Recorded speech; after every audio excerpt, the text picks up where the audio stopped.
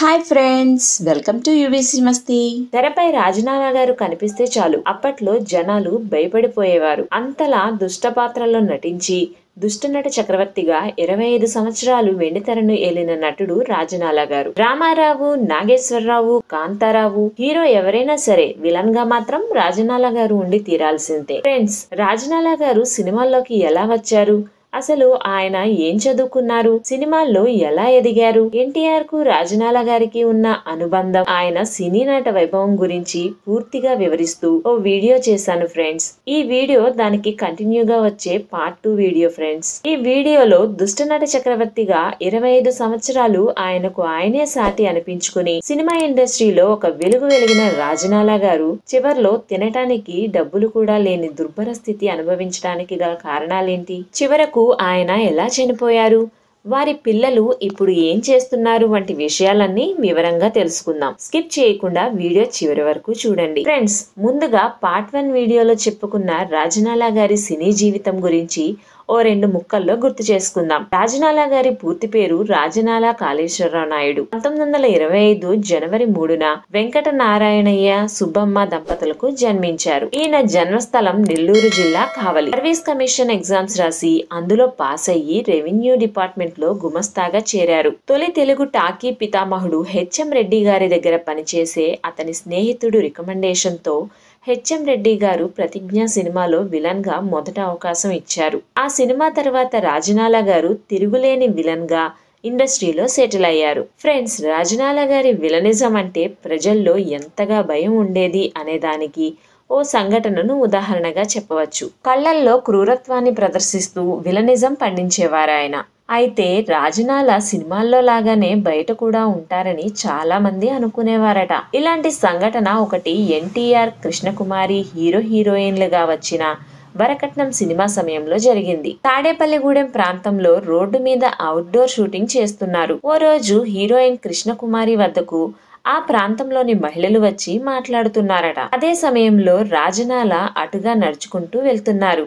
ఆయన్ని చూసిన మహిళలందరూ అమ్మో రాజనాల అంటూ కేకలు వేసుకుంటూ దూరంగా పరుగులు తీశారట. అలా ఉండేది రాజనాల గారి నటన ఆ రోజుల్లో. ఫ్రెండ్స్ మనందరికీ తెలిసిన రాజనాల గారు వేరు. నాణానికి రెండు వైపులా అన్నట్లు ఆయనలో చాలా మందికి తెలియని మరో కోణం ఉంది. ఇప్పుడు దాని గురించి తెలుసుకునే ప్రయత్నం చేద్దాం. దాని గురించి తెలుసుకునే ముందు చిన్న రిక్వెస్ట్ ఫ్రెండ్స్. ఫ్రెండ్స్ మన ఛానల్లో వీడియోలను చాలా మంది చూస్తున్నారు కానీ సబ్స్క్రైబ్ చేసుకోవటం మర్చిపోతున్నారు. మా వీడియోలు మీకు నచ్చినట్లయితే మాత్రం మర్చిపోకుండా సబ్స్క్రైబ్ చేసుకోండి ఫ్రెండ్స్. దానితో మాకు కొంత మోటివేషన్ వస్తుంది. అలాగే మరిన్ని మంచి వీడియోలు మీకోసం తీసుకువస్తాం. ఫిలాసఫీ న్యూమరాలజీ జ్యోతిష్యం వంటి అనేక విషయాలపై ఆయనకు మంచి పట్టు ఉండేది. లక్నో యూనివర్సిటీలో ఎంఏ ఫిలాసఫీ చేశారు. బుక్ రీడింగ్ హాబీగా ఉండేది రాజనాల గారికి. మద్రాసులో ఉన్నప్పుడు ఇంట్లోనే కొన్ని లక్షల విలువ చేసే పుస్తకాలతో లైబ్రరీ ఏర్పాటు చేసుకున్నారు. ఓ సందర్భంలో జీవితం అంటే చీకటి నుండి చీకటిలోకి సంధించే బాణం అని చెప్పుకొచ్చారు. మధ్యలో వచ్చే వెలుగు ఒక మాయ అంటూ తన తత్వాన్ని ఓ సందర్భంలో చెప్పారట. అంతటి భయంకరమైన విలన్ పాత్రలో నటించే రాజనాల గారు ఎంత గొప్ప తత్వవేత్త అనేది దీన్ని బట్టే మనం అర్థం చేసుకోవచ్చు. ఈ ఆలోచన విధానమే ఒక రకంగా జీవితం చివర్లో ఆయనను చుట్టుముట్టిన కష్టాలను ధైర్యంగా ఎదుర్కొనేందుకు సహాయపడిందని చెప్పవచ్చు. రాజనాల గారి ఆలోచనే కాదు ఆయన మనసు కూడా పెద్దదే. ఆంధ్ర నుంచి ప్రతిరోజు ఎవరో ఒకరు చెన్నై టీ నగర్కు వస్తుండేవారు అప్పట్లో. రోజుకు ఎలా లేదన్నా ఇరవై ఐదు మంది వరకు ఆయన ఇంట్లో భోజనం చేసేవారట. అందుకే ఆయన ఇంటిని రాజనాల సత్రం అనేవారు. ఆయన మొదటి భార్య శోభ అందరికీ భోజనాలు ఏర్పాటు చేసేవారు. అదే రాజనాల గారు షూటింగ్స్కి వెళ్ళినప్పుడు ఆయన ఇంటి నుంచి పది మందికి సరిపడా భోజనం వచ్చేది. మంచి తెలివితేటలున్న పేద విద్యార్థులకు డబ్బు సహాయం చేసేవారు. ముప్పై రెండేళ్ళకే రాజనాల గారి మొదటి భార్య శోభాదేవి గారు చనిపోయారు. ఆయనను పరామర్శించడానికి వచ్చిన ఎన్టీఆర్ గారు నీ లక్ష్మి వెళ్ళిపోయింది మామాజీ అన్నారట. భార్య చనిపోవడంతో రాజనాల గారు బాగా కుంగిపోయారు. దాదాపు ఏడాదిన్నర వరకు ఆయన సినిమాల్లో నటించలేదు. నిజానికి ఎన్టీఆర్ గారు చెప్పినట్లే ఆయన భార్య లేకపోవటమే రాజనాల గారి సినీ వ్యక్తిగత జీవితానికి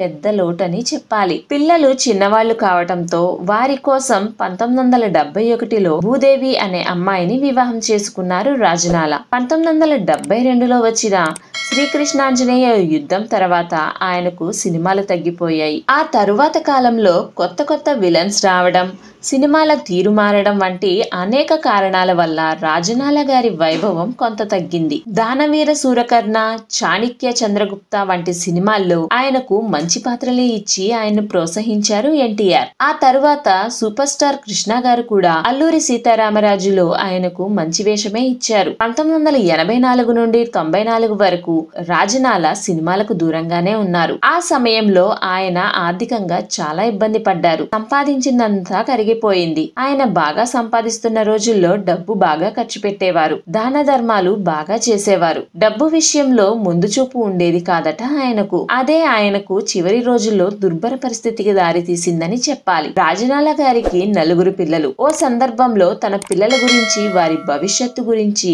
ఆయనకు జ్యోతిష్యం తెలియటంతో ఇలా చెప్పారు. దాని గురించి తెలుసుకునే ముందు మా వీడియో నచ్చినట్లయితే మర్చిపోకుండా ఓ లైక్ ఇవ్వండి ఫ్రెండ్స్. అది మాకెంతో ప్రోత్సాహాన్నిస్తుంది. ఇచ్చారా?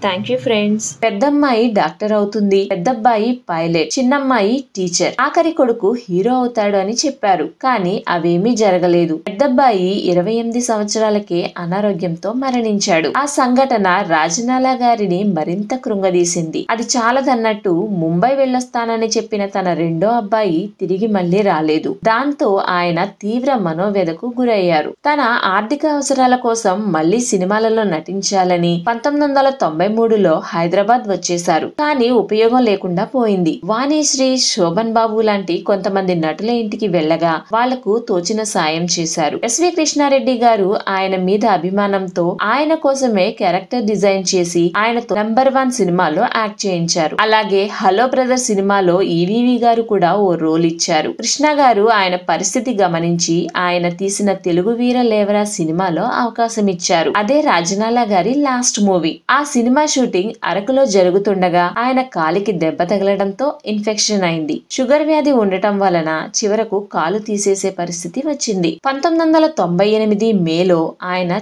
చెన్నైలో తన కూతురు దగ్గరకు వెళ్ళారు ఆ సమయంలోనే ఆయన తీవ్రమైన గుండెపోటుతో మే ఇరవై ఒకటిన చనిపోయారు. ఆ సమయంలో విజయ హాస్పిటల్లో జాయిన్ అయ్యారు. దాని బిల్ లక్ష ఎనభై వేల రూపాయలు అయింది. ఆయన కూతురు మురళీమోహన్ గారి ద్వారా అప్పటి ముఖ్యమంత్రి నారా చంద్రబాబు గారి దృష్టికి తీసుకురాగా ఆయన ప్రభుత్వం తరపున ఆ బిల్ చెల్లించి ఆయన పార్థివ దేహాన్ని హైదరాబాద్కు తీసుకువచ్చేలా ఏర్పాటు చేశారు. ఆ తర్వాత అప్పటి సినీ పెద్దలు ఆయన అంత్యక్రియలు జరిపించారు. అలా పాతిక సంవత్సరాలు దుష్టనట చక్రవర్తిగా పేరు తెచ్చుకున్న ఒక నట శిఖరం అత్యంత దయనీయ స్థితిలో నేల కొరిగింది. రాజనాల గారు ఓ విలేకరి ప్రశ్నకు సమాధానంగా నేను నా చివరి రోజుల్లో మా ఊరిలో ఉన్న తోటలో ఓ చిన్న గుడిసె వేసుకొని ప్రశాంత వాతావరణంలో హాయిగా గడుపుతానని చెప్పారట. కానీ దానికి పూర్తి విరుద్ధమైన జీవితాన్ని అనుభవించారు చివరి రోజుల్లో ఆయన. నిజానికి ఆయనకి ఉన్న పేరు ప్రతిష్టలకు ఆయన సంపాదించిన డబ్బుకు కొంచెం జాగ్రత్తగా ఉన్నా సరే ఓ స్టూడియో ఓనర్ గానో లేదా వెల్ సెటిల్ పర్సన్ గానో మంచి స్థాయిలో ఉండదగిన వ్యక్తి. కానీ విధి నుండి ఎవరు తప్పించుకోలేరు కదా? వింటుంటే మీకెలా ఉందో కానీ నాకైతే నిజంగా చాలా బాధగా అనిపిస్తుంది ఈయన గురించి తెలుసుకున్నాక. జ్యోతిష్యం చెప్పుకునే వాళ్ళు తమ జాతకాన్ని చూసుకోరట. అందుకే ఆయన తన జాతకాన్ని చూసుకోలేదట. ఒకవేళ చూసుకుని ఉంటే బాగుండేదేమో అనిపిస్తుంది. ఎందుకంటే కొంతైనా జాగ్రత్త పడి ఉండేవారేమో. That's all for this video friends ఈ వీడియో మీద మీ అభిప్రాయాన్ని కమెంట్ సెషన్లో కమెంట్ చేయండి. అలాగే రాజనలా గారి సినిమాల్లో మీకు బాగా నచ్చిన సినిమా ఏదో కూడా కమెంట్ సెషన్లో మాకు తెలియజేయండి. Thanks for watching friends